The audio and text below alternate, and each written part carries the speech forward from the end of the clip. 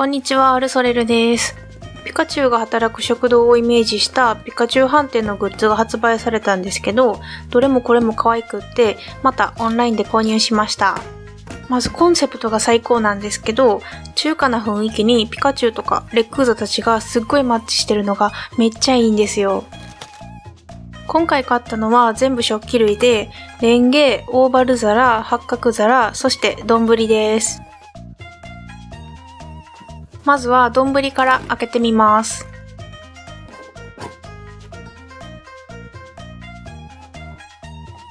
かわいい。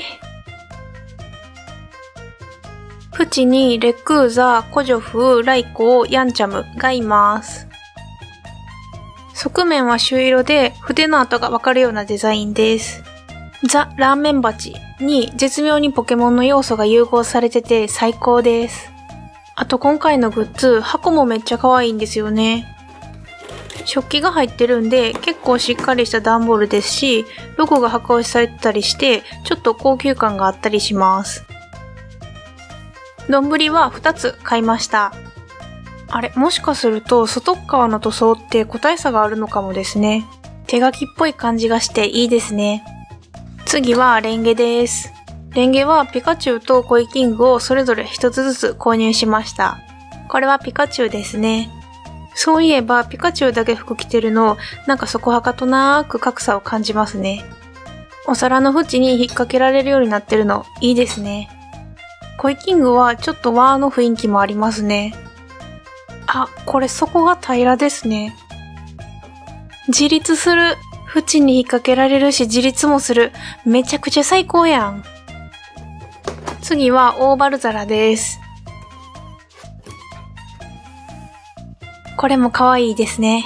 餃子とか野菜炒めとかに使いたいなって思ってます。これは表面にロゴが入ってるんで、裏面はまた丼とはちょっと違ってますね。そして最後は八角皿です。かわいい。丼やとヤンチャムとコジョフやったのが、八角皿はピカチュウとコイキングに入れ替わってます。この形も中華って感じですよね。側面は特に何もプリントされてなくて真っ白です。そして裏面にはロゴがあります。八角皿も2つ買いました。これでラーメンのチャーハン餃子セットが作れます。くつかポケモンのガチャガチャを回してたんで、ついでに開けちゃいます。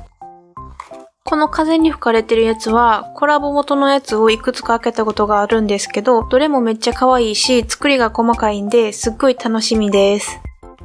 ちなみに、モンジャラが一番欲しいです。まず一つ目は、クマシュンでした。かわいい。鼻水がなびいてますね。ちょっと透明感があるのもいい感じです。クマシュンってゲームで旅場に入れたことなかったんですけど、こんなに可愛いんですね。頭が重そうなんですけど、しっかり自立してくれます。二つ目に当たったのは、犬のワンでした。ワンパチってガチャガチャになる率めっちゃ高い気がします。まあお尻可愛いもんね。毛じゃなくて舌が一番なびいてるのも可愛いです。三つ目に当たったのは、モンジャラでした。やったーかわいいモンジャラをメンバーに入れてくれた方、ありがとう最後四つ目は、EV でした。一番風に耐えてる感がありますね。耳とか首周りの毛がなびいてるのがいい感じです。もう一つ違う種類のガチャガチャも開けちゃいます。みんなちょっと踊ってるみたいですね。一つ目に当たったのは、トゲピーでした。ちっちゃくて可愛い。そういえばトゲピーグッズって初めて手にしたかもしれないです。立体のトゲピーってめっちゃ可愛いですね。こんなにちっちゃいのにちゃんと体操してます。そしてもう一つは、ピカチュウでした。頑張ってるせいか、ちょっと馬の毛な感じの表情がいいですね。